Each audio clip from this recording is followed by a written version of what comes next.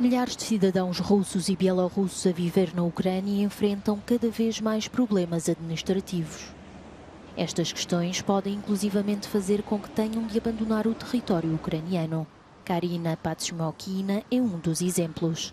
Ela viu recentemente a sua prorrogação de residência ser recusada e agora vive na incerteza. A jovem disse saber que existem bielorrussos que estão a lutar do lado da Ucrânia e que há voluntários que não têm para onde ir porque são bielorrussos.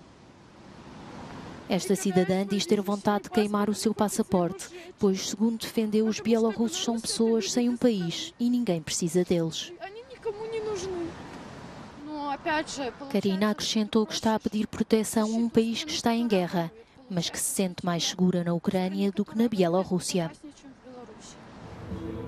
O presidente bielorrusso tem vindo a demonstrar o seu apoio a Vladimir Putin desde o início da guerra.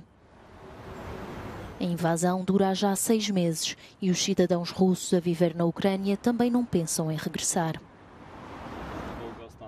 Este cidadão russo referiu que o regresso ao seu país está fora de questão, uma vez que é provável que pudesse vir a apanhar 15 a 20 anos de prisão, e enalteceu a repressão que existe na Rússia учитывая тот масштаб репрессий, который там сейчас развернут. Nas últimas semanas, multiplicam-se os casos semelhantes, relatados por cidadãos que escolheram a Ucrânia para viver.